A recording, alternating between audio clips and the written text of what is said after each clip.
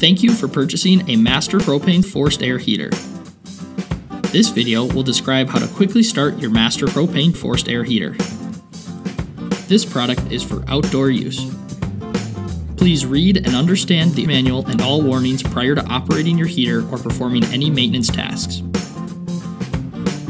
The information in this video is based on your quick start guide located in the box from which the product came.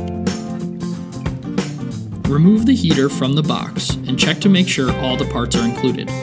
Remove any protective material applied to the heater for shipment and then assemble the heater.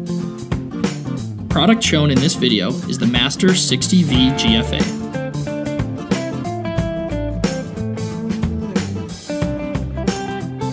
Check the heater for damage. If anything is damaged or missing, please call us at 800 641 6996 from 8 a.m. to 5 p.m. Central Standard Time, Monday through Friday. Make sure the valve knob on the heater and the supply valve on the tank are both turned off.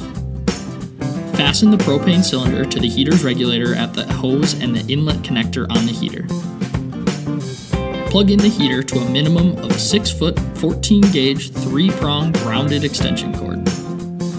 This heater must only be used in a well ventilated outdoor space.